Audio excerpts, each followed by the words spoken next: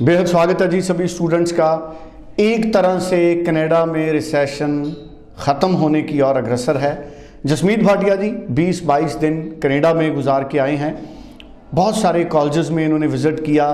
Job centres में गए बहुत सारे रेस्टोरेंट्स में गए। बहुत सारे जो आ, जो वहाँ की इंडस्ट्री है उनके रिप्रेजेंटेटिव्स हैं उनसे मिले मार्केट के एक्सपर्ट से मिले और स्टूडेंट से मिले।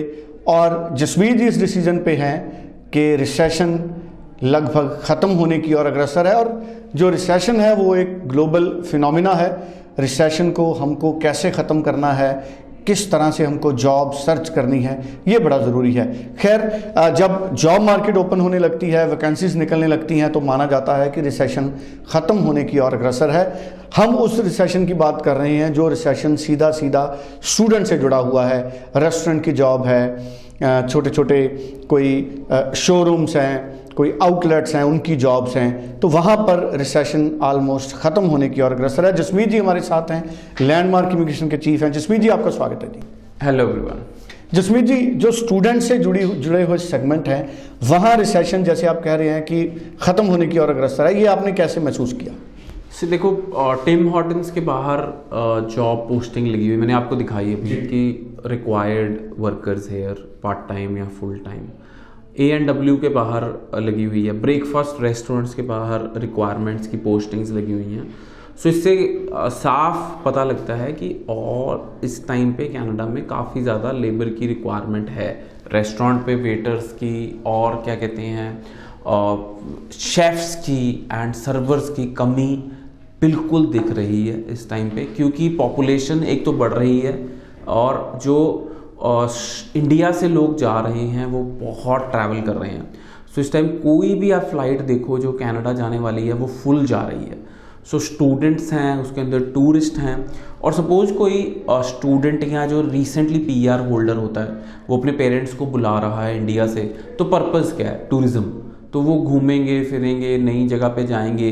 So what will that create more jobs more vacancies so आप जब कनाडा से यहाँ जा रहे हैं that is also putting you know you are also developing that country's economy और फिर जब आपके पेरेंट्स जाते हैं फिर भी आप वहाँ पे खर्चा कर रहे हैं। सो so, कनाडा में इस टाइम पे बूमिंग इकॉनमी है। कहने को आ रहा था कि रिसेशन है सो मेरे को बिल्कुल भी नहीं लगा कि ऐसी कोई रिसेशन वाली बात है।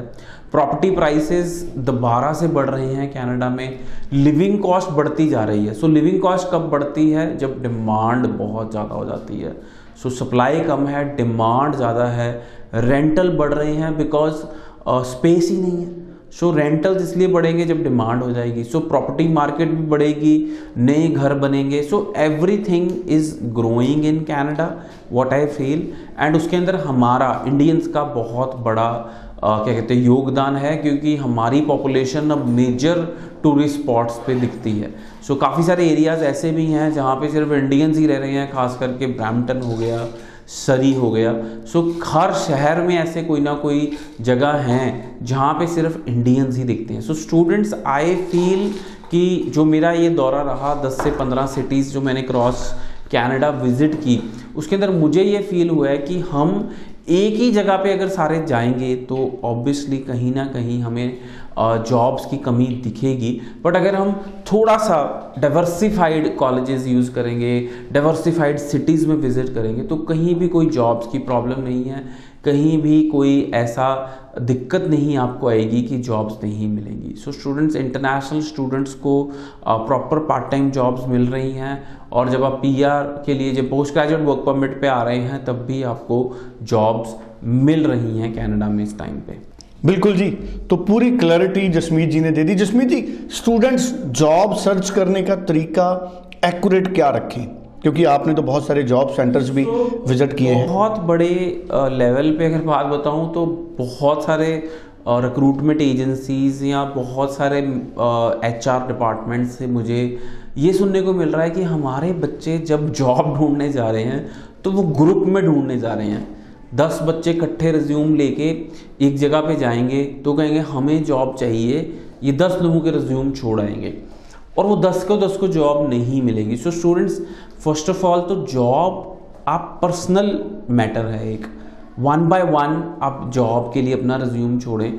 और सपोज़ आप किसी जगह पे जा रहे हैं और आप लोकल कोई वेंडर है वहाँ का, जिससे मेरी डिस्कशन हुई तो कह रहा है कि दस बच्चे आए, हमारे पास दस के दस रिज्यूम छोड़ के चले गए।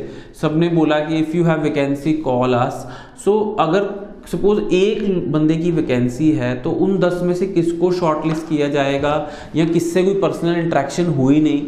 So students first of all तो मैं कहूँगा कि one by one job apply करें और कहीं आप रिज्यूम छोड़ने भी जा रहे हैं तो वन बाय वन विज़िट करके छोड़ें, ना कि एक झुंड में अपने रिज्यूम छोड़ के आएँ। That will not get you a job दूसरी चीज़ है, हर इंटरनेशनल कॉलेज में जॉब सेंटर्स हैं। हर कॉलेज में जॉब सेंटर्स हैं। कुछ कॉलेजेस के जॉब सेंटर्स में मैंने बात भी की कि how are you helping our students so they are saying the method of finding job of Indian student is not correct so first of all तो कुछ स्टूडेंट्स घर से बाहर ही नहीं निकलते। कुछ स्टूडेंट्स अक्वायर ही नहीं करते skills which are needed to get a job so students जो भी स्किल्स चाहिए हैं जॉब करने के लिए, वो मैं आपको कहूँगा कि आपके पास होनी ज़रूरी हैं and you should know the correct method to find a job in Canada और हर कॉलेज में जॉब सेंटर्स हैं they will help you to find a job in Canada बिल्कुल ठीक है जी। सो बड़ी इंपॉर्टेंट इन्फॉर्मेशन जसमीत जी ने हमारे साथ शेयर किया nine zero four one three, nine zero four one two. इस नंबर पे आप सभी स्टूडेंट्स फ़ोन कीजिए।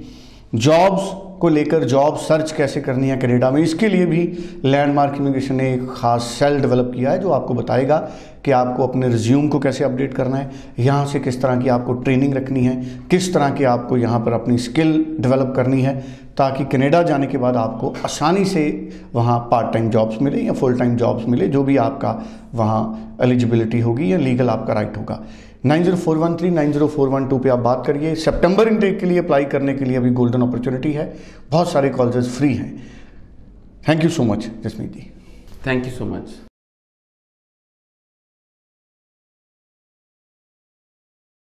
you.